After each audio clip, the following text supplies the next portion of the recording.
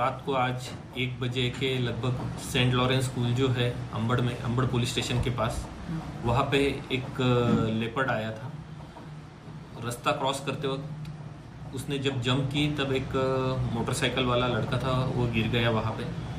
फिर जो लेपर्ड था, वो स्कूल प्रीमाइसेस में से होते हुए पाथरडी फाटा और पाथरडी फाटा से आगे चाम पांडव पांडवलिनी की तरफ़ चला गया है वो। अभी लोगों को डरने की कोई ज़रूरत नहीं लेपर्ड जंगल एरिया में जाते हुए खुद फॉरेस्ट डिपार्टमेंट ने देखा था। इसीलिए वो एरिया अभी सेफ़ है। सर अपने ऐसी कोई जगह है कि जहाँ पे पिंजरा लगाए हुआ लेबर पकड़ने के लिए? रेस्क्यू ऑपरेशन नहीं रेस्क्यू ऑपरेशन करने की ज़रूरत नहीं क्योंकि दो किलोमीटर के पेरीफेरी में जंगल एरिया था।